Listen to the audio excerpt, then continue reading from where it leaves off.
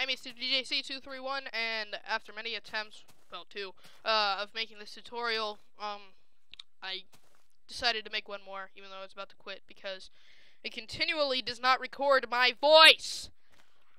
Sorry for getting angry. Um, uh, so basically what this is, is a another variation of the T flip-flop, but this time you can have multiple, um, outputs, or inputs, not outputs, inputs. Uh, so you can see it doesn't matter which button I press and in what order, it will just continually do that.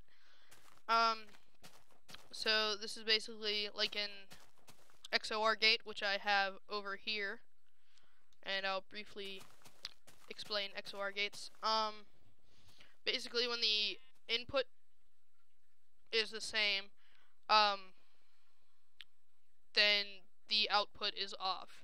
But when the inputs are different, the output is on. Uh, so when they're the same, off, different, on. Um, thank you. Um, I hope there was someone who said God bless you, even though you might not believe it. Shut up! Ah! Sorry for that. Um, uh, that sort of traumatized me. That sheep is freaking scary. Um, so yeah. Just that. And I have one underground over here with two inputs. Um, so if you pay attention to that redstone torch, when I push this button, it goes off.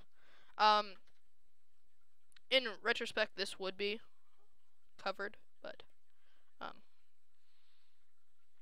I wanted to show you. So if you have a problem, then stop watching this video right now, because I don't need you. Just kidding, I do need you. Please, please stay. Um, so to add more um inputs, I'll do one over here. Um, it's really simple. You just add it to the line going to. Oh, I didn't even show you. I'm an idiot. Okay, I just did it so many times.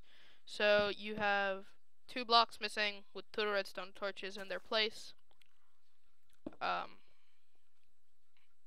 piston. Normal. Normal piston. Another normal piston. And then a block in front of one of those. Um, yeah.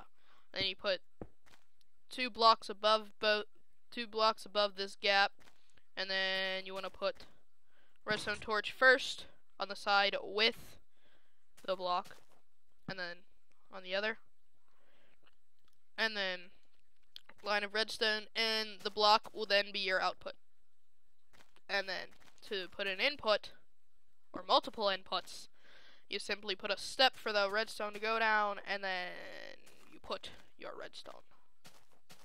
Two, three. Ah. Pay no attention to that exactly, because you don't know what I'm talking about. It won't go away? Okay. Um, so now we can have many inputs as we want. This is better than an XOR gate, because you need a bunch of freaking XOR gates if you want a bunch of freaking levers. So, yeah, it doesn't matter what order you put it in. The output changes every time.